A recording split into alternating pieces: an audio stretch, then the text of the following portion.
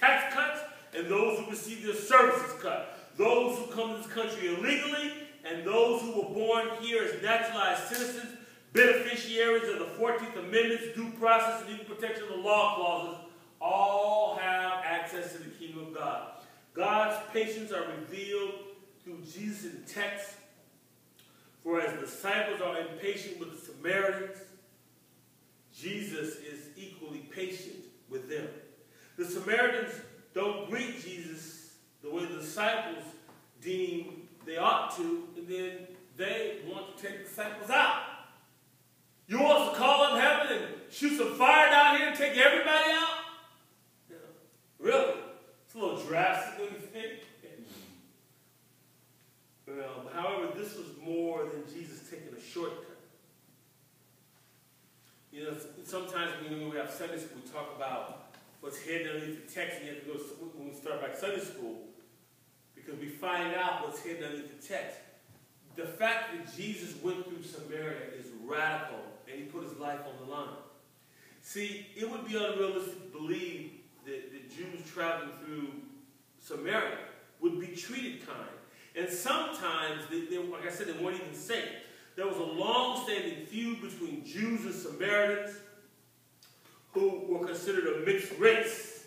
And they, they feuded for several generations like the Hatfield and McCoys.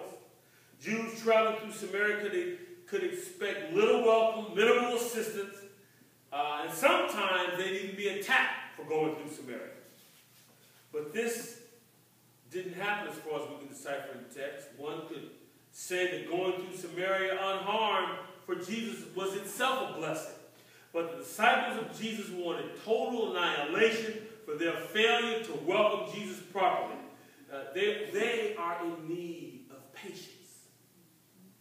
Just as the text reminds us of God's patience, it simultaneously challenges us to be patient with others. God is patient with us so that we can be patient with ourselves, which gives us the peace to be patient with others. As ridiculous as it may appear to hear the disciples were impatient with the Samaritans because they did not recognize who Jesus was, we must remember everyone will not welcome Jesus the way we think they ought to. See, the post-resurrected Jesus is represented in the form of love.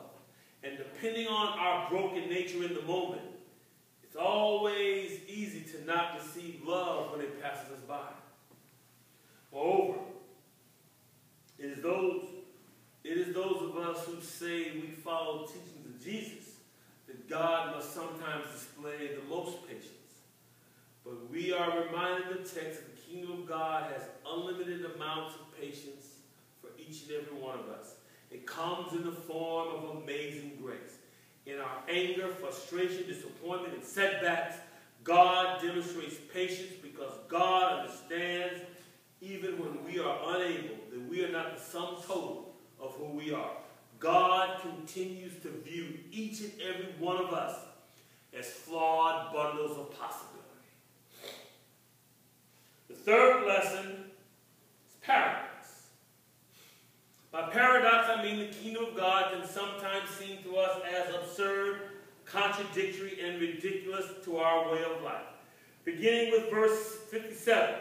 As they were going along the road, someone said to him, I will follow you wherever you go. Jesus said to him, Foxes have holes and birds have nests, but the Son of Man has nowhere to lay his head. Another said, Follow me, but he said, Lord, let me go and uh, bury my father. Jesus said to him, Let the dead bury the dead. But as for you, go and proclaim the kingdom of God. Another said, I will follow you, but first let me say farewell to those at my home. And Jesus said to him, No one who puts a hand to the plow and looks back is fit for the kingdom of God.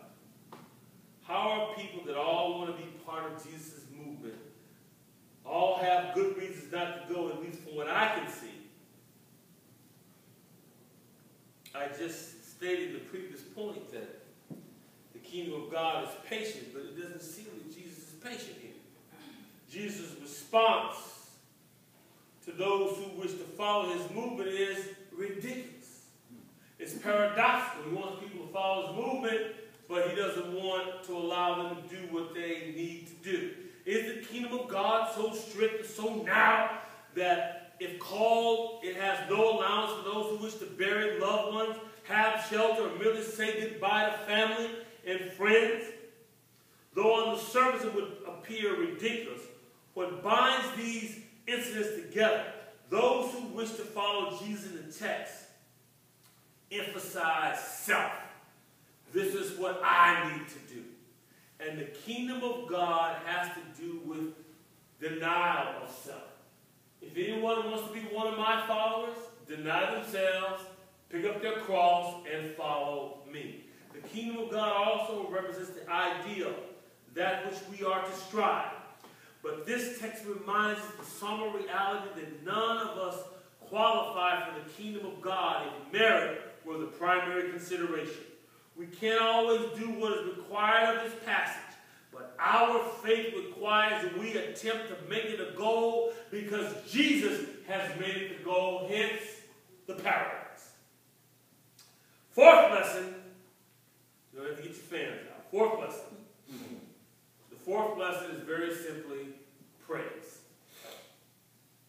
Given how ridiculous this text appears, the apparent harshness of Jesus toward those who wish to follow him, his needless trek to go through Samaria, and the disciples call for mass execution because the Samaritans won't act the way they believe they should. There is little here to praise about. And let's be honest, this is far from being the only text in the Bible that appears ridiculous. The Bible says that Daniel was thrown in the lion's den and came out the next morning unharmed. Text says three Hebrew boys went into a fiery furnace and came out without scratch. Children of Israel crossed the Red Sea by foot uh, with Pharaoh's men charging, God opened a carpool lane right down the middle.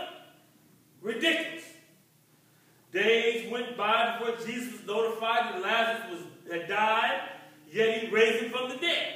In fact, the faith we proclaim is based on a man undergoing the most brutal execution process known to humankind and was and three days later was raised from the dead. All of this, shall we say, is ridiculous. And for a long time, church, I felt that way. Until I found myself in my own form of a lion's den. I felt that way until I said that found myself thrown into my own fiery furnace.